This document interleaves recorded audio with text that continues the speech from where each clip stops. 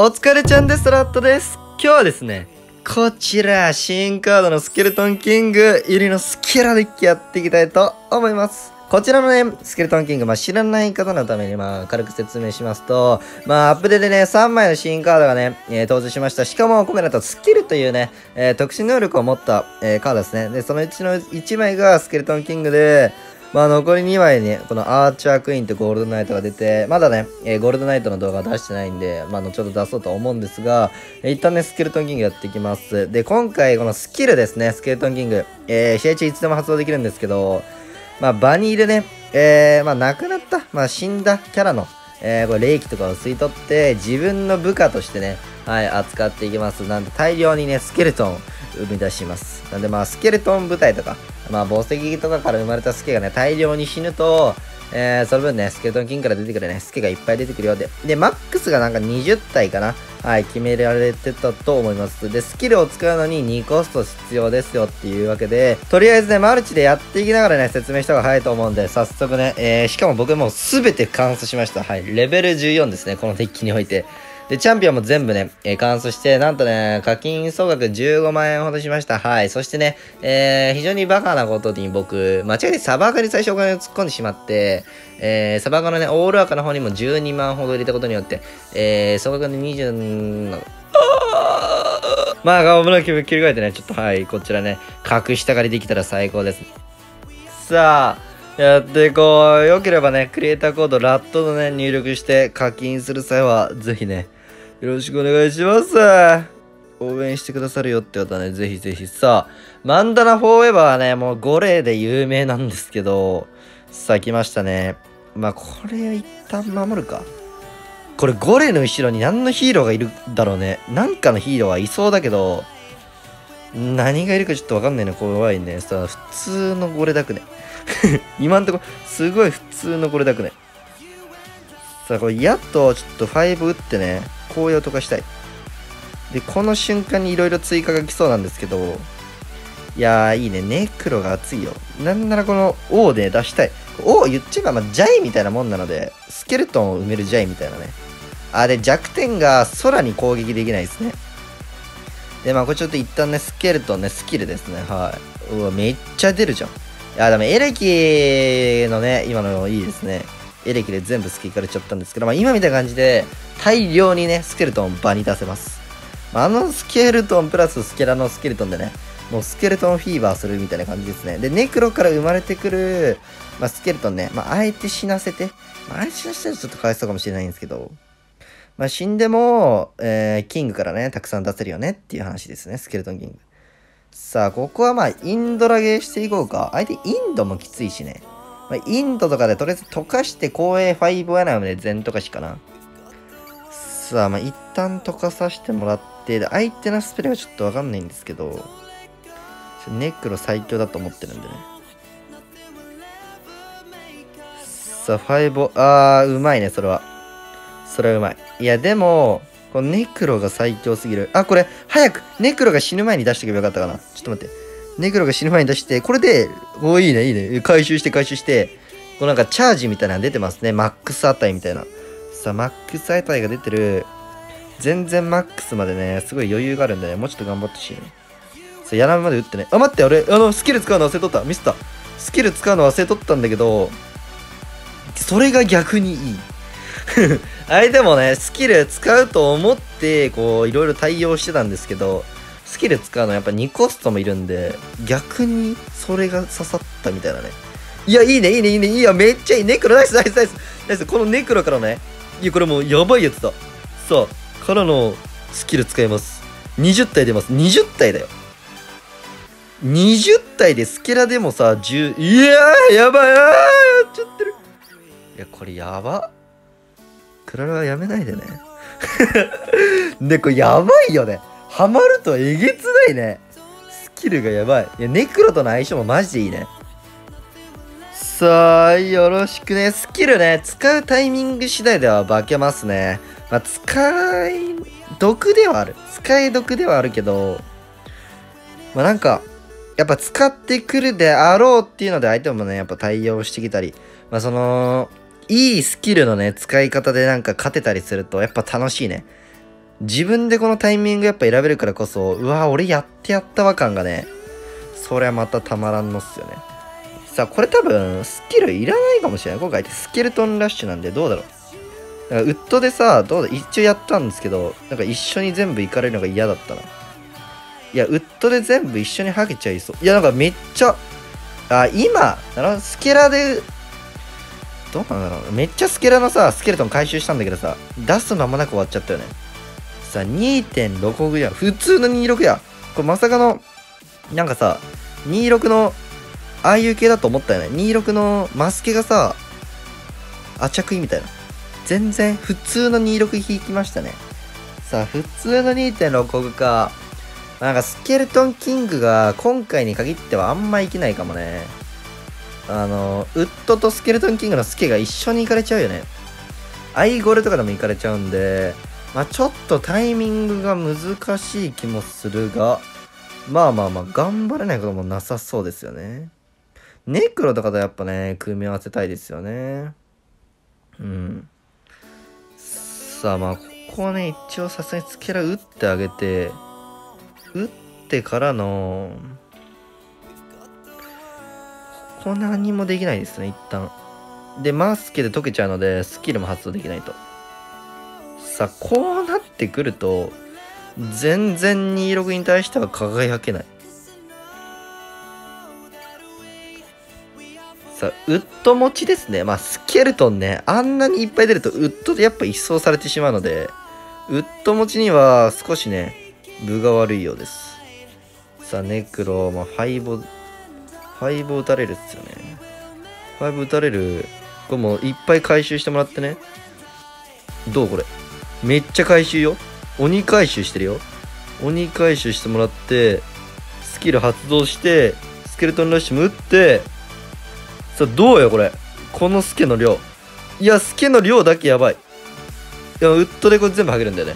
おわお。っていうので、まあ、相手によっては刺さらないのかな。っていうのが、ちょっとスケルトンキングの意外な、ね、ハマればめっちゃ強かったけどね。弱点でもありそうですね。さっき見たらね、決まるとすごい楽しいですけど、まあ、スケルトンキングはウッドにちょっと弱いのか、まあ、デッキにもいるかもしれないんですけど、まあ、スケルトンキング、スケルトンを生むっていう能力、2個使ってね、2個ス打ったでも剥げられるんで、大きな損ではないけど、いや、トロヒーは大損。さあ、よろしく。まあ、ウッド以外には何でもいけそうな気がするね。高回転のね。さあ、下口尺本、尺尺尺尺木本はね、ペッカ工場です。はい。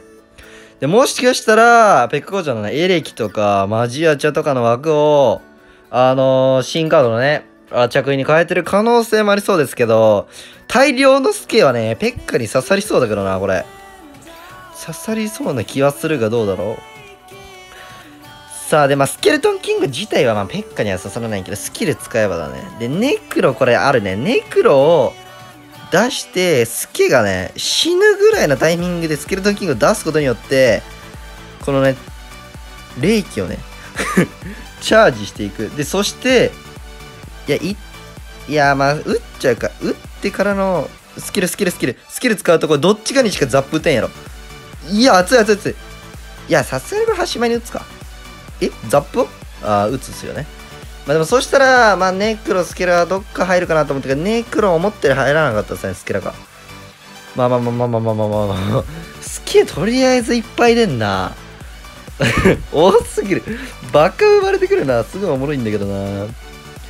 さあ、エレキで普通でしたね。俺の相手全然ヒーローとかいないっすね。今んとこ。今んとこヒーロー全然来ないけど。いや、ザップ使ったらこれトリトンで引っ張り放題なんでね。さあ、ナイストリトン。いいよ。働く力持ち。そして、14っていうこの数字にもね、ちょっとまだ慣れないですけど、あ、ダークプリで受けていいでしょう。これ形作れたら爆発そうじゃない？スケキン、エレキ、んスケキンダークプリネクロのね、形組めれば爆発そうだけど、さあ、まあ、インドは、この相手のエレキがいなくなるタイミングだったらマジで最強。ちょっと許容します。で、スケもね、さよならしつつ、いや、これ熱くね？なんならペッカ吸い込めるよね、あれ。吸い込むって言い方ちょっと違うか。引っこ抜ける。いや、うまい。いやー、これちょっと良くねえな。しかもマジックアーチャー残ってるんで、こうなったら、普通になんか、ピンチ、俺。もしかしてピンチみたいな。思うんだけど、まあまあまあまあ、結局ネクロでね。これなんか、しっかりスキルを使っていくのも大事かもしれないね。なんかスキルを中途半端に使わないっていうのが意外と、意外とやばい気がした。さあ、で、マジックアーチャーに対してはスキルあれ使う意味がないので、使わずいこう。さあ、矢ぐらい打っとくか。いやー、これいらんかったか。さあ、しっかり低めで、これなんだ、キングキド。いや、いい試合してんな。ないつかハマりそうなんだけどな。絶対これ相手の方がさ、きついじゃん。さあ、ネクロ、しっかり許容しながらね。いやね、これファイザップで死んじゃうのか。いやこれファイザップで死んじゃうのちょっとあれだな。俺の、把握能力、把握能力。いや、これもうスケスケラ打って、引っ張って、からの、来たこれや決まる決まる決まる決まる決まる決まるマジで決まる。熱い熱熱熱すぎる。で、スケルトン。いや、相手の防衛うまい。いや、うまいが、いや、マジで。ほら、なんもう、なんか何がどうなってんのかわかんねえ、俺には。うーい気持ちいいこれ いややっぱ事故るねこのデッキはすごいね守るのめっちゃむずそうだもん俺こんなんされたら無理だもんこれやばいねおお待ってライキさんと当たった マジかよそんなことある？これ負けたら40ぐらい持ってかれるっすねしかもでまあスキルはねなんか使い得では使い得なんですけどやっぱ使った瞬間にコストですね。やっぱ特別コスト1か2を消費しないといけないので、消費した瞬間にやられちゃうと、やっぱ無駄になっちゃうんで、なんか、あんま使いすぎるのもちょっともったいないのかなっていうのあるよね。さあ、まあ、ライクさん間違いなく、うん、強い系のね、アチャクイとか使ってそうなんだけど、ランバーだからラバクロかもしかして。これラバクロにはちょっと相性良さそうだよ。お、違うおっちゃん出てきた、おっちゃん。出たさあ、もう一枚のね、えー、ナイト。な、名前忘れちゃった。ごめん。これなんか突進系使ってきそうだね。で、突進系ね、9体ぐらいまで行くんですよね。あ、だからもう一個行ったらキング起動まで狙えたんですけど、さあ、走ってくれなかったっすね。突進スキルを持ってるキャラですね。さあ、ここはね、言うのと合わせて5打っていきます。で、なんかこのスケルトンキングって、なんかきょ、なんかタワーにね、あの突進する系、ジャイとかロイジャイ系なイメージが僕すごいあったんですけど、意外とそんなことなくて、普通にユニットも攻撃できるっていうのを知ったっすね。なんで、ここで頑張ってもらえる。OK、OK。さあ、自然とカウンターの形。これもスケルトン産んじゃうか。いやー、これ早めに産んどけばよかったのかな。そうしたらもっとなんかいい感じにね、できた気もしますが、さあさあさあ。いやー、そうですね。早めに産んどけば、インドの滝が取れたかもしれない。さあ、えー、なんかあれですね、新カード入りの陸デッキですね、人気的なね。まあ、スケラね、刺さればいいけど。さあ、こっからね。もう新カードもしっかり出してね、お互いも、だから今までのクラルとはもう別です。もう全然違うね。こんな絵を見ることなかったもんね。ね。やばいよね、これ。こんな絵あった今まで。ね。そして5打って、で、ネクロからね、スキャもすぐ生まれてくるんでね。頑張ってもらいたいんだけど、ゴーストが非常に頑張りすぎてる。でも相手がここでね、毎回5を使ってくれると、またここで無双できるっていう。でも流れは非常にいい。でも進化、あれがね、嫌ですね。めっちゃ突進してくるやつだ、これ。引っ張っちゃえ。引っ張っちゃえ、引っ張っちゃえ。引っ張っちゃえ、引っ張っちゃえ。いや、これでも熱いよね。インド最短で、単純にこれで、スケルトンラッシュ。いや、いいね。射抜く角度がうまいですね。さすがに。まあ、嫌です。さよならしてね。いや、霊気使えたら熱いんだけど、いや、スキラが止まらん。さあ、いや、これやばいね。カオスな試合だね。本当にクラロワかって思うかもしれないですけど、これがね、今後の新たなクラロワですよ、皆さん。はい、というわけでね、今日はね、スケルトンキング使ったんですけど、まあ、ネクロとの組み合わせがめっちゃ良かったね。まあ、スケルトンラッシュもまあ刺さるのは刺さるんですけど、まあ、このスケルトンキングプラスネクロの相性がめっちゃ良かったので、もっともっとね、他のデッキも生まれてくる気はしますね。いや、楽しみだな。いろんなデッキ作れそう。僕デッキ作るの大好きなんでね、ちょっとそれもね、楽しみにしつつ、まだね、ゴールドナイトか。名前がなんか、マジ黄色いおじさんに変えてほしいぐらい覚えにくいんですけど、まあ、またね、このゴールドナイトの動画とかもね、出せたらいいかなと思います。よければチャンネル登録、高評価もよろしくお願いします。では、お疲れちゃんでした。またね。